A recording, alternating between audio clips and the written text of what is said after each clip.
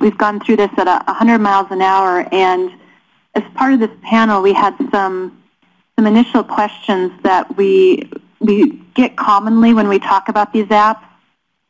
And so some of what we um, we had were some of the costs or common questions that we get, some of the, the biggest challenges, lessons learned, um, how we get how we know whether this app makes any kind of a difference, and what are some of the, the next steps. And so um, I'll start with some of the costs. One thing that we, we found with our the two apps that I did, um, the calculator app was about $10,000 to do, and I think the new updates that we're adding will be another 2,000 or so. And then the, the monitor, the record-keeping one, was about 6,000 together. So um, that's kind of what you'd look at for an app that does things similar to that. So um, Carl, uh, did you have, I know you had gone the hourly route. I don't know if you ever had a total or were comfortable sharing that. Yeah. But well, we did go the hourly route, like uh, where I was a content manager and a coworker was kind of the overview of the app, and then we had hourly paid uh, programmers uh, who were pretty good programmers, but they were not knowledgeable and they didn't have enough uh, a lot of experience. So I would say if you think you're going to avoid a lot of cost by avoiding hiring a professional or paying somebody who's qualified and has the experience, you're going to pay that price through the time it takes to develop the app and the uh, the frustrations that comes with using hourly labor. Yeah, I, I can imagine.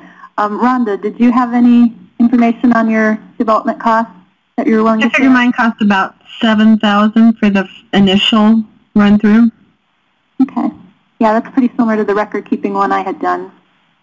Um, I know you mentioned it already, Heather, but you had said for everything together was about a hundred thousand. Is that correct? hmm Yeah. Mm-hmm. And again, that that- was um, a very, I would say, very completed version of a web application and a, and a mobile application Mm-hmm. that talk, you know, they talk to each other, send data back and forth, and they do a lot of um, calculations as well. So yeah, I would say it's a pretty complex. Yeah, I um, agree. I think one app. of the values in an app like this is to be able to integrate all that data later on, and that's something I would I would consider more strongly if I was redoing this. But, um, Jeff, you kind of had a range that you see as common. If people are just even thinking about it, what sort of a ballpark range should they be thinking in terms of an app? Sure. Yeah. So um, typically, apps run with us anywhere anywhere from around five thousand dollars up to twenty thousand dollars. It's kind of the range that most of them fit in. Thank you. Um, as far as biggest challenges, for me, I think one of the biggest challenges was just in being early in the process. Um, you know, Jeff talked about that process we went through, and I think he learned the hard way by working with me why we need to talk about some of these things up front. Um, but just not being real sure of, for example, um, even things like, you know, we expect this app to be used outdoors. And it was so wonderful to have an experienced developer like Jeff because he could tell me, well, I know you meant like those colors, but these colors are known to show up better on a screen in, in that sort of situation. And so little things like that, it was um, really nice to have the benefit of, of somebody like of like Jeff, but just being early in this process and not always knowing the right questions to ask was a big challenge. Um, Carl, how about you? What did you find as a challenge? The biggest challenge is that uh, we faced dealt with, first of all, just communications between the content expert knowing what he wanted and being comfortable with the units and everything else, but having challenges explaining that to those who are less knowledgeable of the content but were pretty good on the, programming. Uh, the other uh, challenge we had was just dealt with error checking um, from a mathematical perspective, but also units and just beta testing uh, related. Mm-hmm. And those are necessary things to do. I mean, it's not something you can get away without, is it, Carl? Uh, actually, I'm going to put a request in. We've got, I think, 39 folks who are signed in. Uh, you guys have been drafted as beta testers and reviewers, so if you find holes and faults in the apps that I developed, I'd sure appreciate comments. The more eyes, the better. Yes, always. Rhonda, what were some of your challenges? Um, I used a student who was, you know, he's a student when I started with him, and now he's doing some of that web development. But the timeline was just a huge issue. Things weren't done when they were supposed to be. Some of it drug out a long time. And then the beta testing, that's the ability to test the app, you know, before it's released was another big issue for me. There wasn't a program or a, a, a system they were using to do that, or you didn't have the ability to get in and beta test it? He had it, so he could do it on on his computer, but I didn't have access to that, so I could meet with him and play with it for a little bit, but that was very, very limited, and you really need to be able to play with it for a lot more than that. Yeah, I would agree. I know, Heather, you said that you could talk for five hours on some of the challenges. what were some of the challenges you, you faced? Well, and I, I think similar to what you said, Jill, it was just sort of being in that space so early. Um, and just the fact, just like I said, I'm an agronomist. I'm not a developer at all. Um, and, you know, just that communication um, and the language that we use and the language the developers use and just not, you know, it was really difficult to be on the same page. The other thing um, I think was a challenge is, is really being, um, is the storyboarding part, you know, the discovery part of building these apps is um, because we, we really didn't quite know where it was going to go, it was really hard to, you know, put costs on it and prices and stopping points and, um, and so, you know, just really knowing what you want and being able to lay that out um, in a very, you know, detailed storyboard is, is pretty important to, to getting where you need to go for the least cost in a timely fashion. so would be my words of advice. Awesome. Jeff, what do you see as some of the common challenges you run up against or the common uh, areas that people run into problems? Sure. Yeah, I mean, I'd say it's, it's along the same line as um, what everybody else is saying, maybe just on, on kind of the other side of the, of the fence with it. Um, you know, just trying to to understand, um, you know, in, in these cases where it's a real niche type app that's, that's for a very specific type of, of user group and, and, and making sure that um, while, while all of the content in it is so foreign to, to myself, um, you know, making sure I'm doing it the right justice and, and describing things in the right way in the app. And, and so um, it, that's always a challenge, and I don't know if there's there's any way to, to make that not a challenge when you're you know you just don't have that that background knowledge of it. But um, I think certainly the more we've worked on, for example, app type or ag type projects, the more um, all of that language is becoming more and more familiar and easier to work on. Yeah, thank you. Yeah, communication is, is definitely something you want to do often. Um, I know Jeff and I would meet, like we, we were about two and a half hours apart, and we would meet halfway um, face-to-face every now and then because it was you could just communicate a lot more face-to-face than you can over a, a phone or through email. And so communication is pretty critical. Um, as far as lessons learned or advice, for me, I think the most agonizing decision whether or not it should have been was whether or not to charge for the app.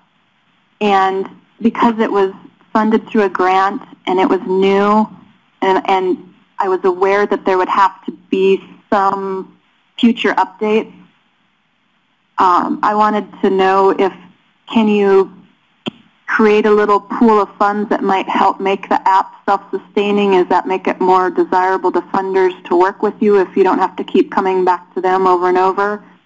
And the data we had at that time, and, and again, this is where a good developer helps because Jeff had a lot of great information on um, price points and what people felt about different price points. Did they see differences in downloads?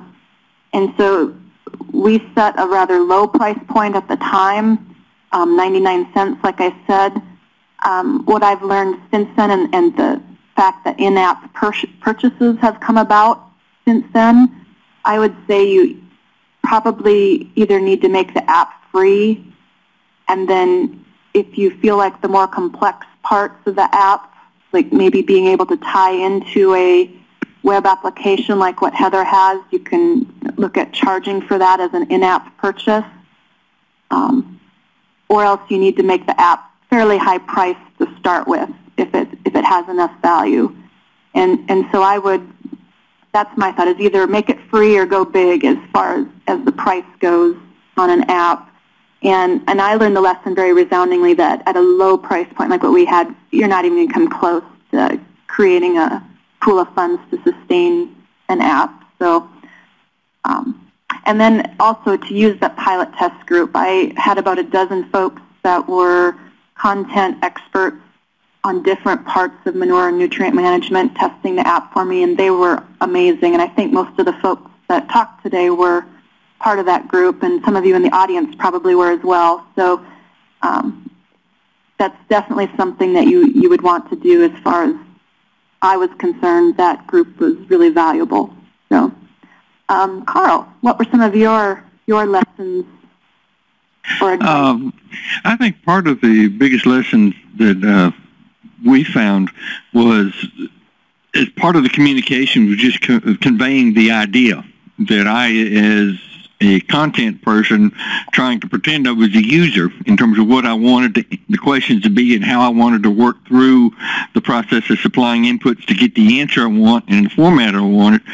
Uh, I finally settled on using an existing spreadsheet that I'd been playing with from the calculational perspective and added drop-down menus and things like that and scaled it so that I was able to mock it up and pass a spreadsheet to the people doing the coding and say, hey, I want something that looks like this. And that really led into the next lesson is by doing the mock-up that way, I was able to have the mock-up be able to do the calculations so after they did the coding, they'd have a way to double-check the math checking themselves as they work the formulas up and that kind of thing. So, you know, to me, that was the two biggest things is follow up the communications, you mock it up and think about what you want and what you want it to look like and use that to communicate it to the between the planner and the content people. Yes, that's excellent. Um, Rhonda, what did you have for advice or lessons learned? Lessons learned, definitely try, you need to question what kind of ability you'll have to beta test it. That, that's been a big issue for me. And then also just how to access the information on the number of downloads. Um, that's also an issue for me. Yeah, I can see that. Um, Heather, what do you have for, for advice? You know, I, uh, similar again to what Jill said, we struggled with the, the price. Um, you know, in terms of beta testers, we already had this course going, so we had tons of beta, not tons, but plenty of beta testers and the, with the farmers that we were teaching this course to, everybody that was taking the course was using GoCrop in every version of it and making comments as they used it to make improvements. So, so that was a great way to um, beta test the versions that we were going through with GoCrop is that we had farmers in, in sort of a classroom setting that were using it hands-on. And even today, I just finished teaching nutrient management class, you know, 60 new farmers that are using GoCrop and we have a whole platform set up so if there's a bug or something we want to um, fix, we just hit a button and we can type that in and it gets sent to the developer. Um, so having the people that are going to use your tool, you know, beta testing it is, is awesome. We were really fortunate to be able to to do that. Um, and then other uh, the pricing thing, that was a, a lesson too. And I agree with Jill on that. Um, that's what we do. We you buy the web app and you get the iPhone app for free, which um, and we're still struggling with you know what price to charge, um, so that we do make enough money to maintain you know the web app. And then other lessons learned. Um, one of the important lessons I think, especially for a tool like ours, is to make sure you think about the future even though you can only think about the moment because you know, now that GoCrop is what it is, um, we look back and say, oh, if we just would have thought a little bit bigger about it, we would have set the database up differently. Um, and now we actually need to go back and redo um, some of that to scale out. So, you know, it's sometimes better to think bigger initially and scale back. Awesome. Thank you for sharing that. Um, Jeff, I know most of your presentation was about some of the advice you have and lessons learned, but do you have any one major point you'd really like to emphasize or, or bring about here? No, I, well, probably the only one would be um, the localizations. Um, I think that's this is definitely one of those projects that led us to really make sure we're asking those questions early on in, in, in all other apps. Um, just because, as, as Jill mentioned, we're, we're making this um, uh, metric capable as well. And so had we known that right off the bat, there certainly were some things we could have done to make that easier uh, and maybe even make it to where it's almost like a, a flip of a switch type thing. But um, now, you know, looking through the project, it's it's it's a it's a larger project than it needs to be, and so um, that's a that's probably my biggest takeaway. But honestly, a lot of those those um, items I listed on that scope, I could directly go back and, and talk about you know some specific things with this project, just because this was so early on in our app development. I would say. Yeah, yeah, and it, the other one is hiring a hiring a good developer. that was my, my solution to most everything. so, and then um, impact and usage. Um, I'm going to say that's been a challenge because it, I, I think a lot of the different things that you can build into an app to track, you know, in the background weren't available. And so for me, it involves actually having a relationship with people that are using the app is the only way I can track some of the impact. If somebody's using it and they maybe have a suggestion or they give me some feedback on how they're using it or how they could use it better, it's about the only way I get feedback. And, and that's made it really hard to justify this to, um, I mean, it was early enough that even doing it seemed like a cool thing in your annual reporting. But now when you look at what has impact has this had and other people are saying, is this worth my time to do? I don't have great data to give them, and, and that's unfortunate. Um, but having that connection to your users can get some of that information if you don't build it into the app, which I suggest you do if you can. Um, how about any of the others? Do you have any advice in that regard? as far as tracking impact or more than just downloads?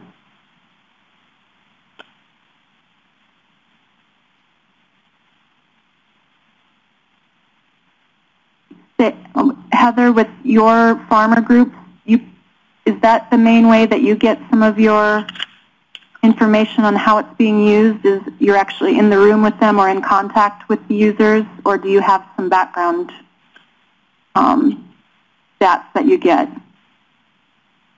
In terms of tracking impact, again, we, you know, it's pretty easy for us to track downloads because you have to actually, when you purchase the web app or purchase a free trial, we're asking people to type in a, you know, a bunch of information, where they're from and, and all those things. In terms of, um, you know, level of satisfaction, we have not really tracked that with the exception of the people that we work with in Vermont. So I wouldn't say we're doing that great of a job. Or we're doing a good job, but we're also looking at a very small audience at this point. Mm-hmm. Yeah, having a specific audience is, is good. Or at least having a relationship with them, I think, can get some of that yeah. information as well. Yeah. So um, I'm going to ask each of the presenters to talk a little bit about their future plans on their app, and then we'll address any of the questions that you bring in. And of course, I know that if you get the handout or the app information, um, anybody is going to be glad to answer answer these questions. So um, for me, I think I covered some of the updates and what we plan to do pretty well with the, making the apps free in the next couple of months and adding the nitrogen availability piece to it. Um, Carl, do you have any future plans or, or updates that you have online? Oh, I guess The immediate plan is to go back and uh, double check the functionality of the apps and things like that. Is second, I guess, uh, beta testing may be one word to call it, but when uh, Jeff uh, mentioned that you need to go back and touch the code to make sure the code still works the way it needs to. That caught my attention, so I need to go back and verify that. Uh, but I do have uh, plans to further investigate apps, potentially involving nutrient management planning uh, online for. Also, I'm done. yeah, looking at having a place to integrate a lot of the the data. Yeah. Well, at one time, it's been several years ago, we were looked at the idea of uh, taking all of our nutrient management planning to online with the state database with different levels of uh, user access so that you'd have the privacy security issues that you were interested in. And it was it was interesting but it was a pretty big project and we just kind of dropped it. Uh, now may be the time to go back and kind of re- revisit that. Hmm Okay. And uh, Rhonda, what are some of your future plans? And are and I, you mentioned having a spreadsheet that you're sort of connecting the data to. Um, what are some of your? I know you have another app as well. So, what are you? Right. We're, we're working on a critical records of production app, a crop app, and that would be to help um, record what crops are planted in which fields, um, when you've applied pesticides, when you've applied fertilizer, um, just again, the little spiral notebooks, for, but for some of the crop aspects to coordinate with the manure management. And then you mentioned a spreadsheet that people can bring the information into that actually does some of the nutrient calculations for them. Right.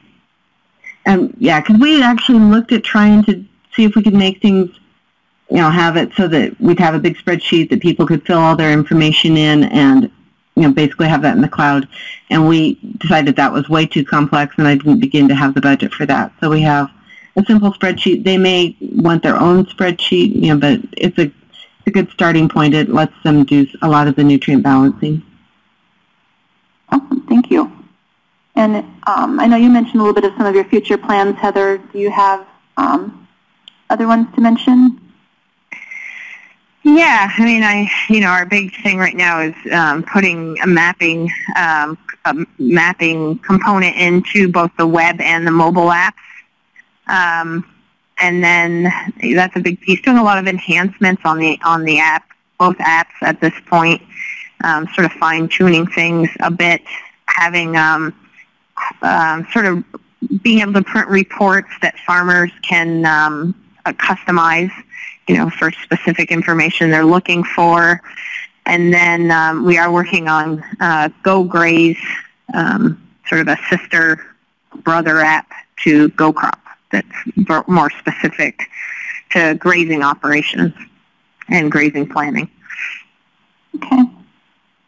And hopefully we answered your question some, Doug. Um, Doug mentioned, besides Heather, are any of the developers planning on being able to connect the data collection to be able to input or sync to a manure management plan? And I think to be quite honest, one of the, if I was looking to use those apps that we've already developed to go into a, a more robust system, my, my first thought would be to actually talk with somebody like Heather who's already done that and see if there's a way we can just piggyback or, or work together on that rather than building another one. You know, I don't know if it would end up being possible, but I certainly think that would be where I would look, um, try to build on something that's already out there. Um, and I would I would say that um, from my perspective, we're very very very open to that. This is a you know a public publicly developed tool that we would like to see you know the framework and um, is there, the base is there, and it was very expensive to build. Everybody just said that they, you know, in one way or the other would like to go that direction, but the expense of it um, is significant, and we already spent the money. So why not, you know, tap into what's already there? And I think it's, um, you know, it's there. You know, it already has the P index built into it. it needs to be modified by state. Has um, manure calculator. You know, so much of the things that people are talking about, um, yield monitors and um, pest management tools, and now you know it'll have some pretty um, complex grazing planning tools too. So excellent. And then I'm, I've already gone a few minutes over, but I'm going to just ask um, Jeff to share a closing comment on where you think um, apps are going and what's the best you know, uses for apps. I know the idea of an app as just kind of being a miniature version of somebody's website seems to really be falling by the wayside. But as far as what, if you can look into your crystal ball, what would you tell this group to be looking towards as far as the future and, and how to make these really useful? Boy, nothing like ending with a tough question there. Sorry. Um, You're I would say, yeah, I, I would say, um, you know, apps are, are just getting more and more niche. Um, you know, I think the, but like you mentioned, they're not, the trend in apps is not to have them do everything. You know, just have them do a very specific task and have that task be done very well. Um, if you need stuff that's larger than that, then large, then likely you're you're looking at more of a web app uh, and, and, and something like that. And then we're also seeing a lot more convergence between um, what can happen between web apps and mobile apps, and you know, can you make these web apps more mobile friendly? Um, so there's going to be a lot more of that happening in the next couple of years.